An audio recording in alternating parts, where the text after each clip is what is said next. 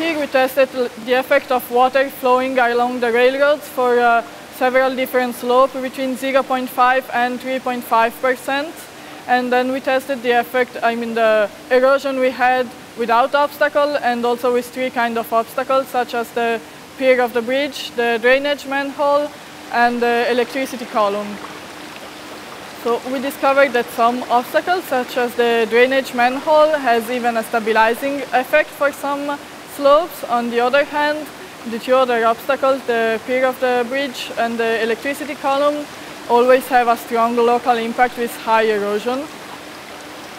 And we did some tests combining two obstacles to see uh, what was the more critical distance between two obstacles.